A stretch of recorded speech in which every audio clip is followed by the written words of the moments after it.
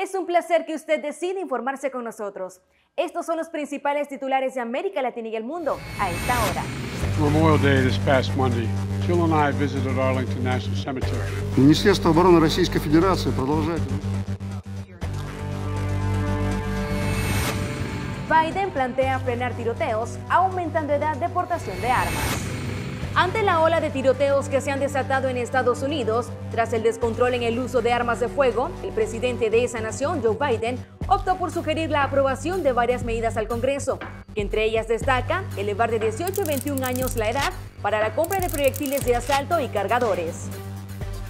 Durante las últimas dos décadas, más niños en edad escolar han muerto a causa de las armas de fuego que los policías en servicio y los militares en servicio activo combinados.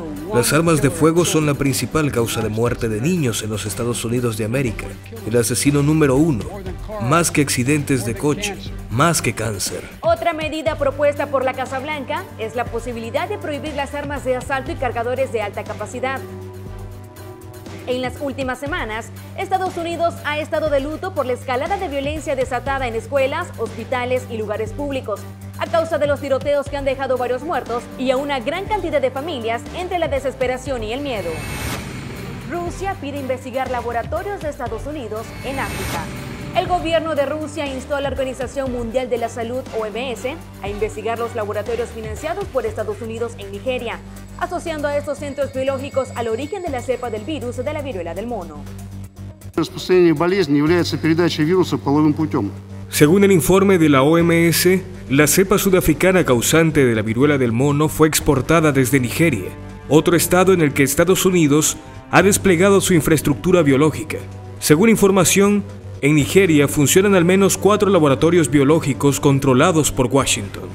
Igor Kirillov, jefe de las tropas de defensa radiológica, química y biológica de las Fuerzas Armadas de Rusia, además indicó que se pide esta investigación debido a los numerosos casos de violaciones estadounidenses a los requisitos de bioseguridad y las múltiples pruebas de un descuidado almacenamiento de biomateriales patógenos. Estados Unidos pide ayuda a la Unión Europea para contrarrestar crecimiento de China.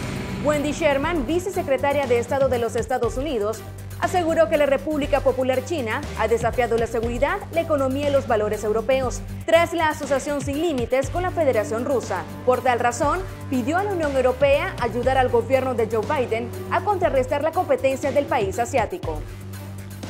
Incluso antes de que el presidente chino Xi y el presidente Putin declararan en febrero su asociación sin límites, la República Popular de China ha desafiado la seguridad, la economía y los valores de Europa. Hace unos días el gobierno chino indicó que Estados Unidos es la mayor fuente de caos para la paz y estabilidad internacional y enfatizó que la Casa Blanca no está capacitada para hablar de normas en absoluto. Para mayor ampliación de estas y otras noticias, visita nuestro sitio web www.jpmas.com.ni y todas nuestras redes sociales.